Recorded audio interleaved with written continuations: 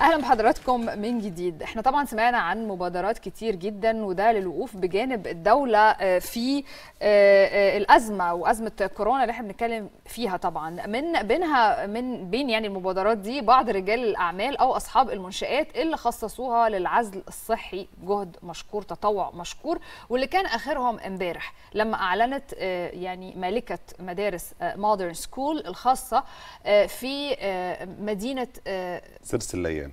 أيوه سرس الليان آه. بمحافظة منوفية. المنوفية إن تخصيص المدارس علشان تكون ضمن الأماكن المخصصة للعزل المبادرة اللي تبناها حزب الحرية المصري واللي بتنتمي لملكة المدارس تضمنت تخصيص 24 غرفة تم تجهيزها وفرشها لصالح العزل الصحي بالإضافة لمباني تصلح كسكن للأطباء وإدارة المنظومة الصحية.